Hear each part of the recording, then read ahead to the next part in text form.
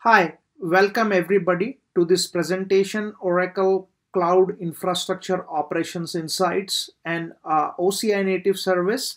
I am Ashish Agarwal, one of the product managers in Oracle Enterprise and Cloud Manageability Group. Operations Insights service enables business executives, database and IT administrator to make informed data-driven database resource and performance management decisions. It has two applications, capacity planning and Oracle SQL Warehouse. Capacity planning helps with optimizing operational costs and Oracle SQL Warehouse is a long-term store for SQL performance data which can help you to maximize performance.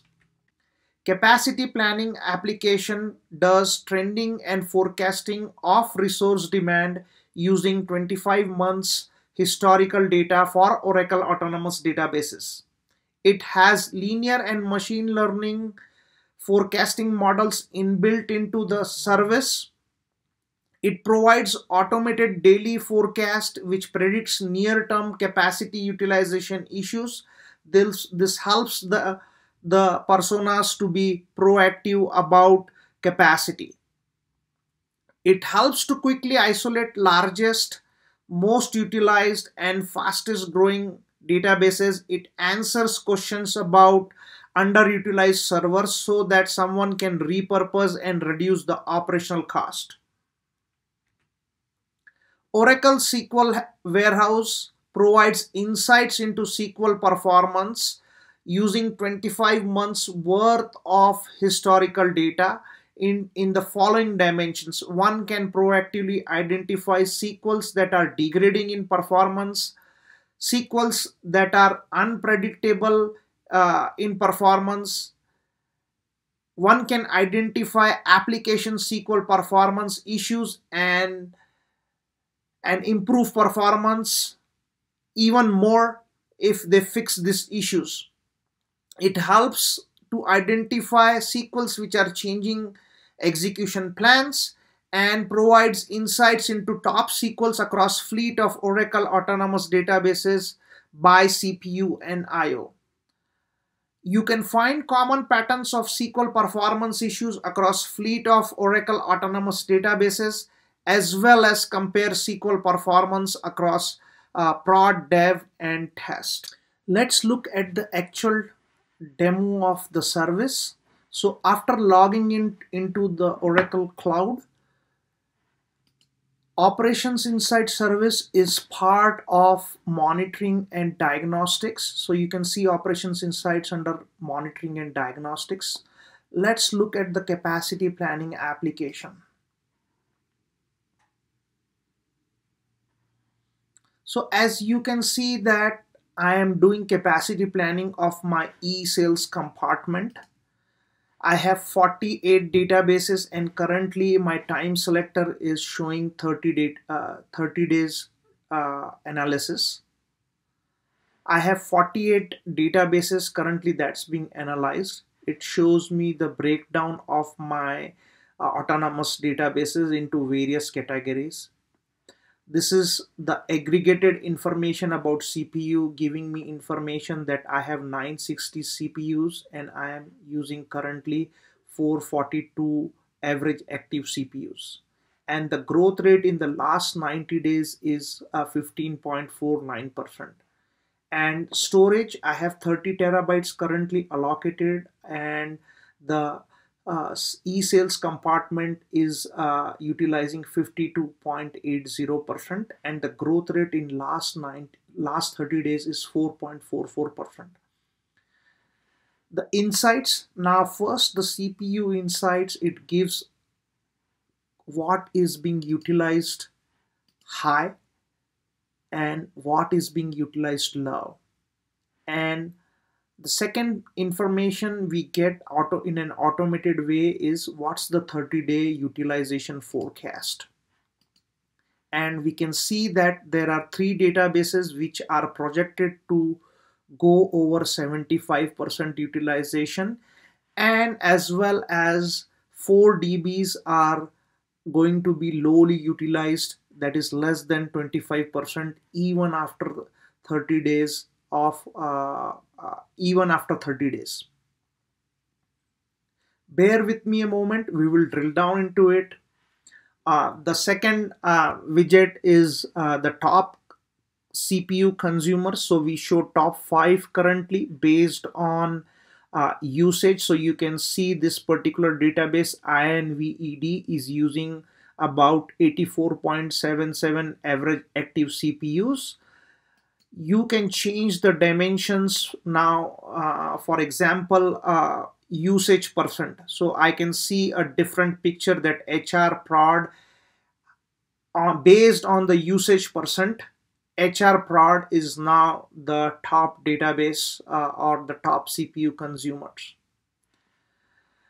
the CP usage trend shows me what's my current uh, allocation that's 960 CPUs and how my utilization is there based on the last 30 days.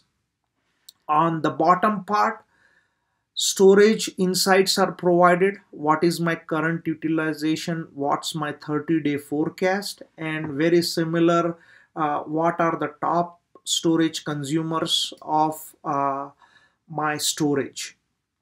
and the storage usage trend what's the allocation and how on a, a, time series basis how it is being utilized over the last 30 days. Now let's select last 90 days and see how the picture looks like. So I can see that now uh, my 30 day utilization forecast I have two databases. So this is based on the past 90 days uh, uh, utilization. Let's drill down into uh, our forecast of 30 days.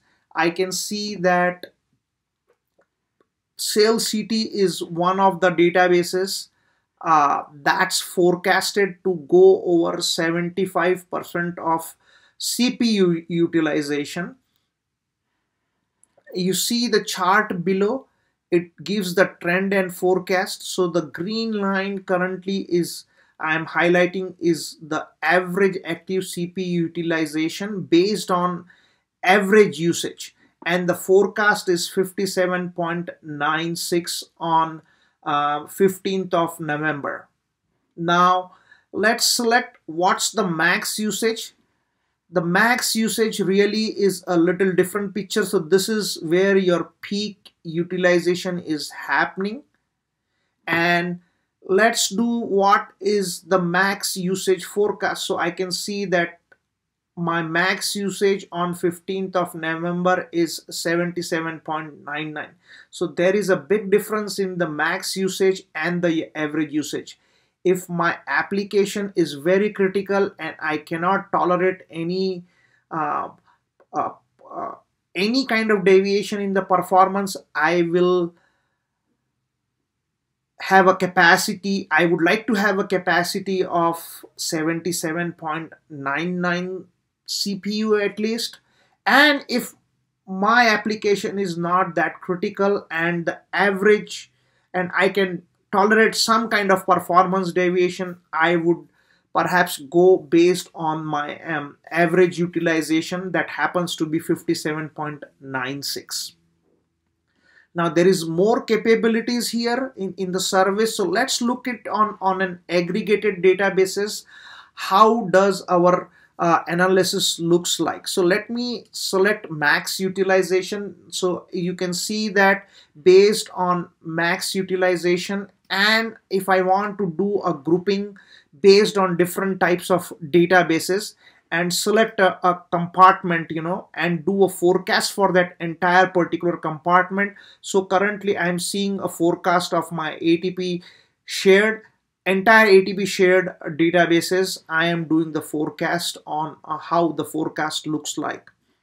Now let's try to do uh, and see if i can see any seasonality so I see that I have selected the machine learning linear, uh, the, the currently I have selected the linear model and I can see some patterns of uh, um, utilization happening. So if I select the machine learning linear, I see that my forecast also is seasonal it has a pattern to it so i know when exactly my peaks are occurring and where uh, the bottoms of my uh, average active cpu utilization is happening